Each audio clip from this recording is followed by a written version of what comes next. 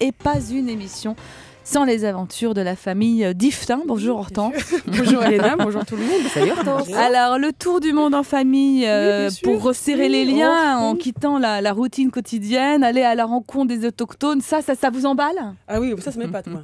mais jamais être parent globe trotteur, mais quelle drôle d'idée. Mais j'aurais pas osé, trop trouillarde. Puis j'ai horreur des surprises. Et puis maintenant, c'est trop tard, je suis trop vieille, hein, j'ai 25 ans. Pauline a 13 ans et demi, Igor 18. Vous verrez pas ça chez tout le monde, hein, sans mes enfants. Ils préfèrent partir sans moi, puis moi sans eux moi, c'est vite fait. Mais même quand ils étaient petits, j'aurais pas pu les avoir sur le dos toute la journée. Bah, faut aimer.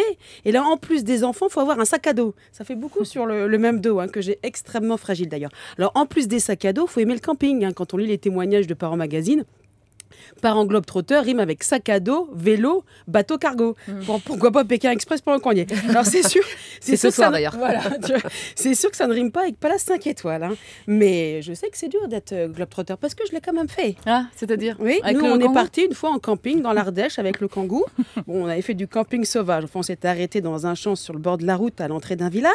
Moi, j'en ai pas gardé un souvenir impérissable. Hein. Au niveau des odeurs et des rencontres surtout. Enfin, niveau odeur, la bouse de vache. Hein. Mm-hmm. Niveau rencontre, la vache. Alors ça surprend le, le, matin réveil. Alors c'est vrai, les paysages sont beaux, mais on s'est retrouvé piqué par des moustiques et chargé par un taureau. Puis je vois des gens en Ardèche euh, pour se faire comprendre par l'autochtone. C'est pas simple. Alors avec un Indien de l'autre bout du monde, bonjour. Non, puis puis partir avec un tout petit. déjà, j'aime pas tellement les enfants, mais quand même, quelle idée hein. Quand je lis les témoignages que le gamin de 18 mois, il est revenu de son voyage avec des parasites sous la peau, ou qu'après quelques jours de diarrhée, son organisme s'est habitué. Et Ça, c'est des témoignages normalement, tout, tout, est rentré dans l'ordre. C'est terrible. Ah, ben oui. Mais ça aurait pu être moi. Quelle horreur Égoïste. Et sympa la diarrhée quand t'es à vélo. J'aimerais pas être le vélo. Ah, vive mondial Classe, classe. Tout dans la délicatesse et la finesse, d'accord, ton Alors en plus, c'est pas donné de dormir à la belle étoile à l'autre bout du monde pour ah. choper le palu. Ah. Et puis quand on, a, quand on, a, un travail, je parle pas pour moi, bien sûr, je parle pour mon mari, ben, c'est pas facile d'arrêter. Puis quitte à faire appel au don, je préfère autant que ce soit pour un spa pour moi. Alors, et puis le choix du déjà dit hier. Oui, non, mais je suis à fond dedans là, j'essaye. Chérie, le spa.